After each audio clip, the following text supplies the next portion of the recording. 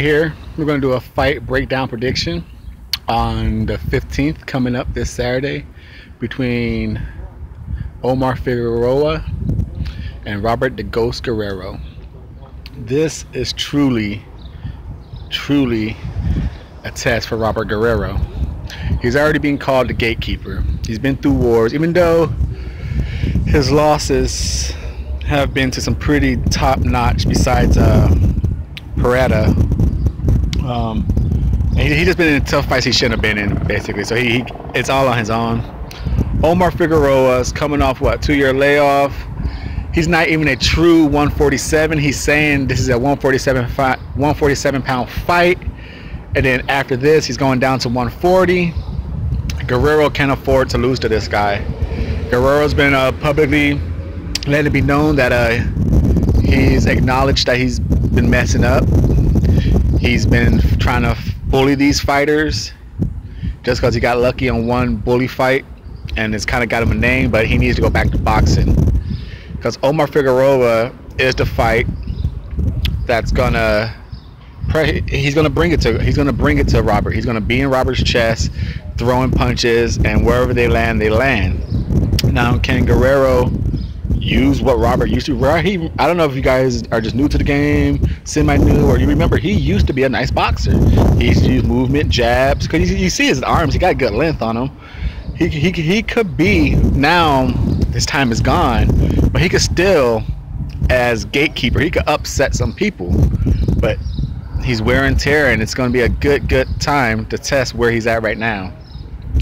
Now, me, I think Figueroa is too small, too light. He's gonna come in too heavy because it's not his his natural class. And I think he's just going to, with all the punching and combination. I think he's gonna wear himself down. And if Guerrero does box smart like he says he's got to go back to and what he used to do, I say this is gonna be a very, very because Omar has no style. Just get in your face and put a boot in your ass and try and hurt you. And Guerrero, that's how he, Guerrero's been fighting these last couple years. If he goes back to his uh, championship days of boxing, he actually was a champion and stuff. I think I think it's gonna be easy work for Robert Guerrero. Use the ring and jab him and throw the combinations to the butt. Because Robert has a nice body game. Use the angles, skate to the side, dig up to the body, come up top, work, and then work everything off that jab. Because Omar is going to come rushing in, jab him, jab him, body, jab him, jab him, body, hook to the side, hook to the side, skate, skate to the side. This should be an easy, it's kind of weird to say a coming out party for Robert Guerrero, but if everyone's been thinking of him, he could really uh, open up some eyes for him. Like, okay, he's not quite a gatekeeper who's done.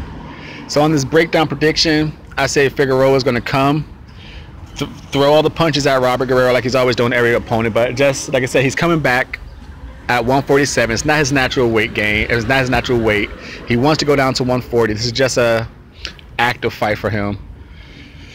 I'm going with Robert Guerrero doing a last minute turnaround for his career, and he's going to easily UD uh, Omar Figueroa. Probably a kind of a shock because I don't think no one's going to expect it. That's that's my prediction on RT Boxing. This is Mr. A. Let's go, Robert Guerrero. One last pull for the Californian boy.